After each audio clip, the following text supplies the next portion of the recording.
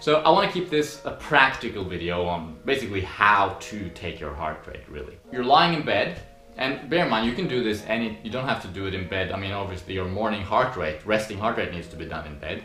But if you want to take your pulse in the middle of the day or if you want to take your pulse out on a run manually, you can do that too.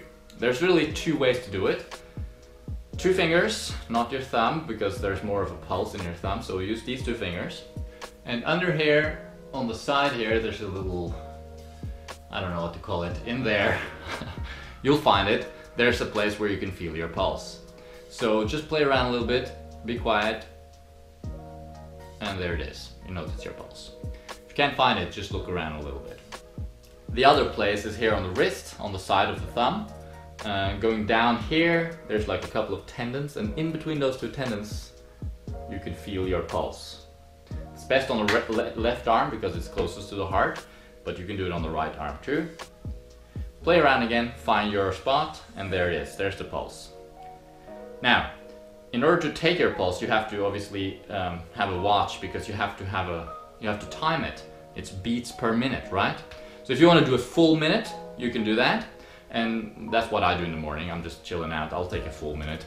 Uh, I'll just put my fingers there. I'll look at the watch and it'll just be in, some kind of random place. Let's say now it's on 15, 16, 17 the seconds, 19, 20. Hits 20, I start counting.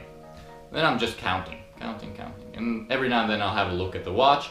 And then as, as soon as it's approaching 20 again, one minute later, I'll get ready and then 20, okay, stop. And then whatever I counted to, that's my uh, beats per minute, that's my heart rate. Usually in the morning for me it's about 50 nowadays. As you're getting fitter, your resting heart rate will also go down. So that's one way to do it. But of course, if you're, you know, if you don't want to spend one minute, you can obviously do 20 seconds and just time whatever number you get to by three, and then you have 60 seconds, one minute.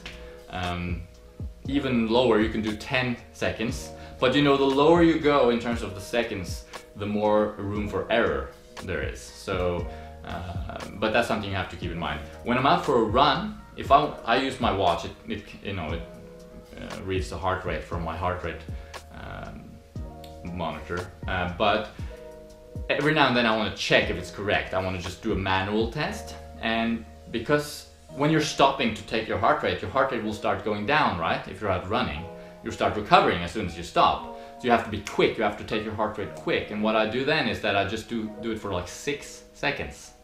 I count it for six seconds and then I just time it by 10.